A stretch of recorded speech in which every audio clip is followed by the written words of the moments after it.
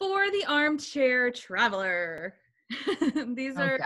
like to be a, a, like an afternoon escape or maybe with a history bend.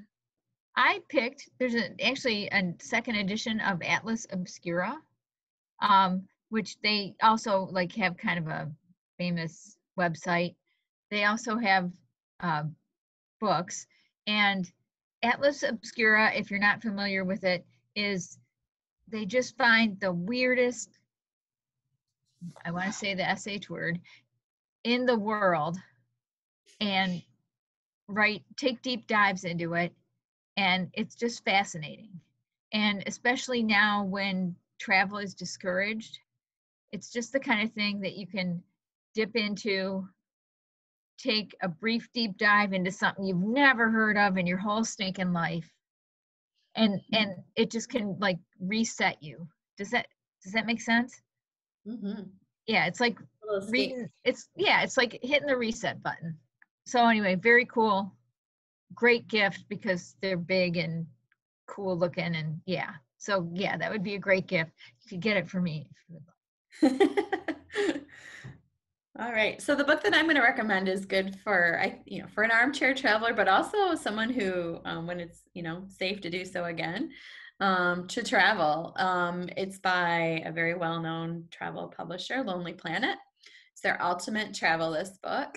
So they have taken um, and created a list of 500 sort of must-see places all over the world, um, and then also then narrowed that down to their top 10. And it's not just um, you know, sort of like well known uh, places. It's a little bit, I don't know if it's quite as obscure as the ones that Rhoda was talking about, but they do um, get into some lesser known um, sites that they feel are you know, certainly worth visiting. Um, so it's a great list for those, or a great book, a great book, not great list, um, for people who plan on traveling but because it also includes some really wonderful photography and write-ups i think it would be really good for an armchair traveler as well So I have Ms. Josepha to thank for this recommendation. I had heard of this book, but I kind of forgot about it. Um, and she's right. This is the perfect armchair traveler book um, for Outlander fans specifically. Um, Sam Heughan and Graham McTavish, who of course both starred in Outlander, um, they came out with a book recently called Clanlands. Um, and it's basically just a hilarious road trip through Scotland. Um, so they explore the land, the history, history, um, culture, whiskey. Um, they're friends in real life too, so there's a lot of banter, and you kind of get that camaraderie um, between them really coming through. Um, I know they visit several locations that were significant to the series, um, so that would be interesting as well. Um, it just sounds like a really, really fun book. Um, perfect way to escape to the Highlands right now. Um, and bonus, this isn't related to armchair traveling, but when I was looking this book, looking at this book online, um, there's apparently an Outlander knitting book. So the next time you're binging Outlander, you could be making like Claire's knitting a kilt a shawl the, the um oh I had a picture on my computer. Uh, In the first season, Claire wears this like gathering cape Yeah. that yeah, you can make that. You can make Jamie's overcoat and from one of the seasons. So, you know, something else to do. Bonus. instead of eating sounds like a plan Yeah. But Planlands, check it out. The book that I picked is a fiction book um, called The Jane Austen Society by Natalie Jenner. Um, this was such a nice escapist read. I read it. Um, I think it was really, really cold outside, and I just remember being like curled up, and it was just, it felt cozy, and it felt like I was transported to the setting. Um, so this book follows World War II. Um, so it's, uh, it's post World War II, and it's the small town of Chawton and they are really needing to heal from more than just the wounds of war. There's a lot of kind of unrest in the village. It's really where the town people, as well as the visitors, can find of kind of find solace um, in the pages of Jane Austen's books because that's where she was kind of from um, at, at later on in her life. So that's their like claim to fame. It's just this kind of tiny little town, and they have this one big author that's from there, and a lot of people are drawn there by that. Um, so they try to play into that and try to kind of bring people in. And the visitors that come there kind of help the town heal and help heal themselves, and they all kind of find a way to move forward after the war. So um, it's just a really endearing kind of read. It's gentle and the relationships are really well done and it was well written. I really liked it. I concur. Oh, did you read it? I did, yeah. Oh, good. Yeah, I read it a few months ago. Yeah, it was cute. For the people person.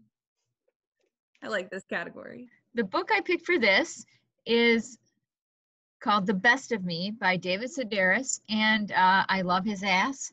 I love his sister. I love his whole family. I feel like I, I wondered like would I really want this book since I have read every single book he has ever written? But in reviews I have read, it made me realize I do want to read this because it's like visiting with an old hilarious friend. He's he's just great. Uh, so yeah, I'm I am looking forward to Gus getting me this for Christmas, Gus, um, so that I can revisit this family that I have. I feel like I've grown up with. All right. So the book that I picked is a memoir. Um, we're a, a, running family. Our house um, hold is running, and so I, I, tend to pick these kinds of books up. I look for um, things about running. But anyway, um, so this one was a little bit different than what I've typically read. Uh, but I think it's a book that anybody, uh, you know, obviously someone who likes biographies in general, but um, sports or inspirational life stories. Um, so it's Can't Nothing Bring Me Down. Um, and it's a story of Miss Ida Keeling. Um, she is currently 105 years old. The book's, I think, a year or two old. Um, but she holds several world records um, for her age divisions. Like she didn't even start running until she was in her 60s. So she, you know, lived through the Depression and the Civil Rights era. Um, she had four children. Her oldest two sons were actually on two separate incidences within a couple years of each other, brutally murdered, um, unsolved murders. Um, and she was kind of just hanging on there. And one of her daughters approached her and told her that she had signed her up for a race. And this is again when she's in her 60s. Um, and she just was like, all right. And she trained for a couple days, ran the race, and she was hooked. And um, I think it was a 5K, the first one that she did. Um, she still runs today. She works with a trainer. She's just fun and feisty. Um, you know, she's sort of an icon in the Bronx where she lives.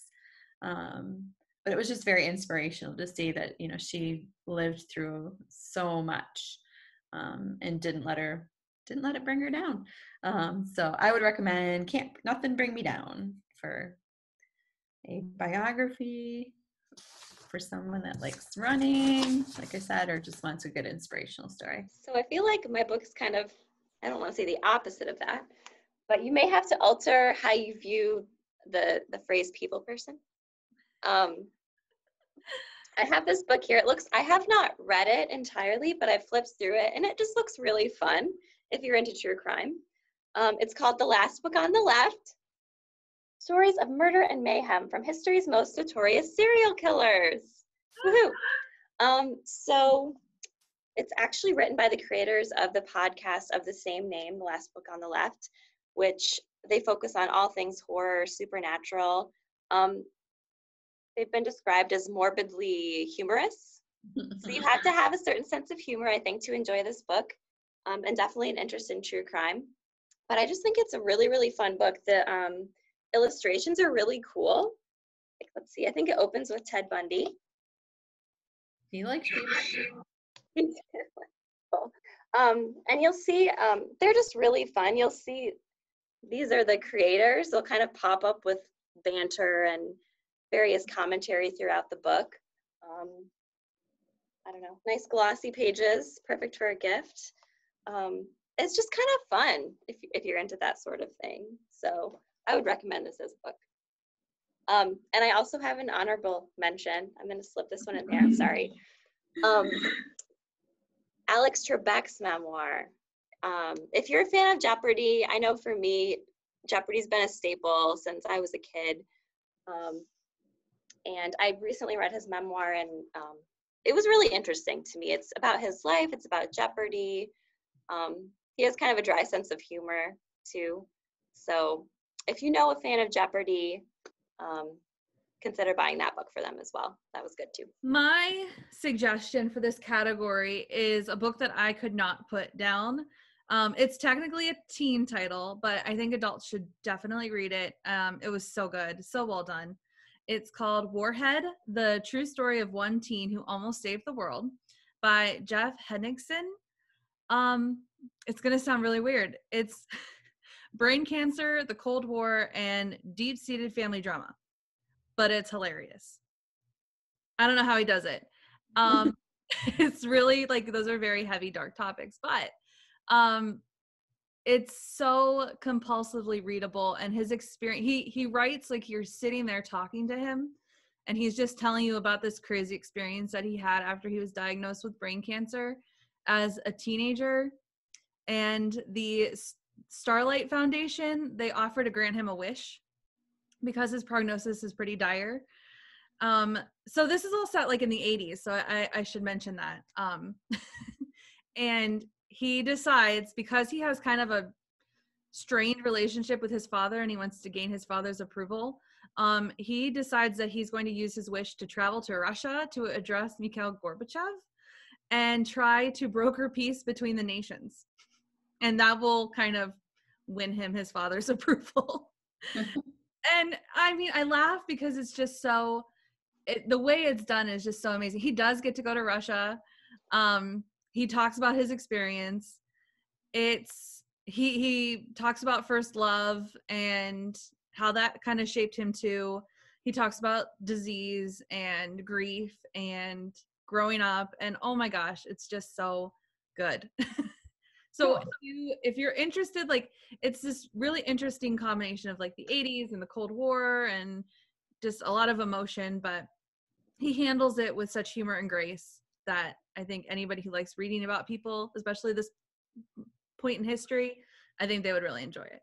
So our next category are books for those who do what makes them happy.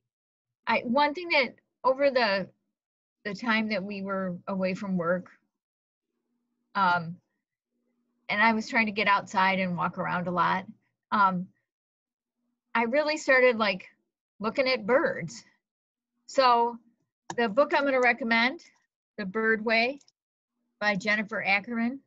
Um, there's also a, a David Sibley book that's similar to this, and it's just sort of a like a, a deeper dive into more than just like, you know, this is their song and this is how they fly. It's like why they act the way they do. I mean,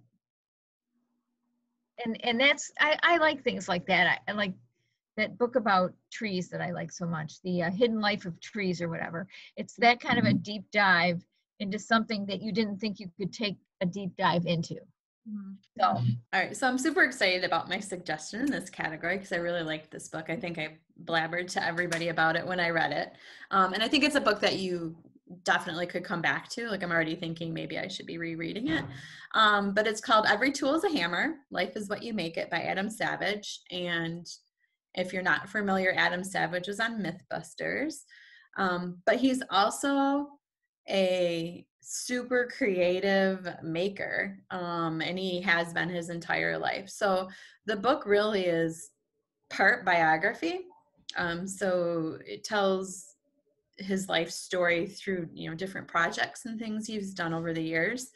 Um, and he is uh, actually like admittedly slightly obsessive about his making. Um, he's been known to make like dozens of prototypes until something is exactly the way he wants it. There was a piece of, um, I think it was like a piece of some sort of armor that he was trying to replicate from a movie scene.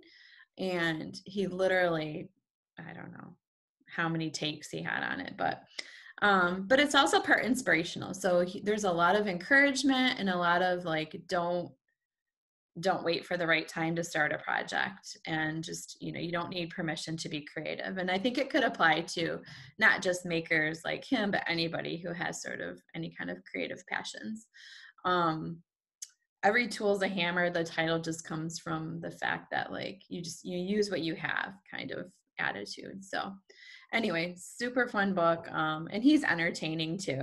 Um, and it's it is scattered. There is some practical advice sort of scattered throughout the book about different methods and tools and techniques and things like that. But um, anyway, really liked it. Very inspirational, entertaining, super fun. Every tool's a hammer. I've got um, a book that takes its time, and an unhurried adventure in creative mindfulness. Um, you may have seen this book before. It came out a few years ago, and this is actually our library's copy. It's been pretty popular. Um, it essentially just encourages creativity and you know being present in the moment so there are different prompts and exercises and activities um, there are recipes little mini essays there's um, the joy of one thing at a time i love there's just little Aww. fun fun things How have I can't missed this word. book? there's Is postcards Out, Susan? what Is it always checked out? not right now um gosh there's a section on practicing hand lettering so if you're into like bullet jour- journaling um i don't know i think this will be this would be fun i, I like the stuff that comes with it. Like a pop-up book for adults. There you about mindfulness and creativity. So yeah check it out. It looks fun. It'd be a good gift. My pick is inspired by the fact that I think like so many other people during quarantine, you kind of became like a plant person or you baked bread. like it seems like that was kind of where the activities fell. Um, and I belong to the plant people. um, my in-laws gave me some plants and I set them out on my balcony and I watched them grow and it was such a spot of joy in what seemed really dark. and I chose the book Plant Magic Herbalism in Real Life by Christine Buckley um, because it really inspired me to learn more about the different herbs that I was growing. Like I had um, uh, mint and basil and I'm I'm trying parsley now. so um it's just really fun to learn more about how they grow and how they adapt and what they do. Like I never knew mint like could be so swampy. Like I would overwater the crap out of that thing and it would still survive. In fact, it flourished. so um it's really it's really great. It's a great excellent resource to learn more about how to incorporate herbs into your life whether it's through growing them, pruning them or using them. So and it comes with really beautiful pictures and it's really easy to understand. So i really like that book. Our final category for the adult is for the hif- history buffs. No, let me say it again. For the history buffs Um, okay, I have to give a shout out to Josepha because she mentioned that this would have been her pick, and then also to my husband, who is truly a history buff. Um, and the book I'm going to suggest, if your history buff doesn't already have it, is uh, oh wait, is it Wolf? It's the Wolf Hall trilogy by Hilary Mantel, and the the um, hang on, I got to grab the title of the the last book in the trilogy is called The Mirror and the Light and uh just my husband devoured the, these books. And then also he's gone back and reread them because there's so much there there. Um and so that yeah perfect. Just don't even listen to these guys. Just get that. You'll be good. All right. Go ahead. So I actually picked a um, nonfiction book for this category. So it is by Sean Quimby and it is the Margaret Bourke White Moments in History. So it is somewhat of a coffee table book, but I thought it would be a really nice gift book. Um, I think for an aspiring photographer, someone interested in women's history or just history in general. Um, so she did most of her well-known work in the 30s and 40s. She was the first female war correspondent um, to cover to be you know right down in there in the trenches with the the forces. Um, so the book is 150 photos of her work during the 30s and 40s. Um, you know, over in Italy and Germany and Czechoslovakia. Um, so I think it would be again an excellent gift for a photographer, uh, someone interested in history or um, yeah, Margaret Bourke-White. I thought the book um, *Sapiens* it doesn't sound very exciting um, when you think about it, but there's um. So this book came out several years ago. It was a bestseller. It was called *Sapiens*. Um, it sort of outlined the history of humanity. Um, there were, I guess, like six sort of original human type creatures on the planet, and it talks about how we're the ones that survived and um, just our humans' role throughout history, the rise of empires, evolution. Um, and I really, I love graphic novels, and I really love that they're adapting this. So this is actually the first volume um, of what's going to be a series of the original book. Um, it was recommended by lots of important people um, Barack Obama, Bill Gates. Um, Oh, you know, it's, yeah, big deal. You know, it's going to be good. But the illustrations look really cool. Um, and I think, again, it might not sound very interesting, but I wish I could show you these images I'm seeing online.